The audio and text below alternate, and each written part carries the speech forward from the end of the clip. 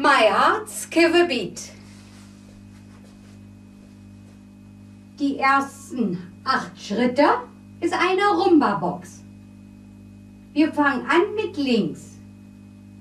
Den linken Fuß links absetzen, den rechten Fuß ran, den linken Fuß nach vorn und ein Takt halt. Noch einmal. Eins, zwei, drei, vier. Und das Ganze mit rechts.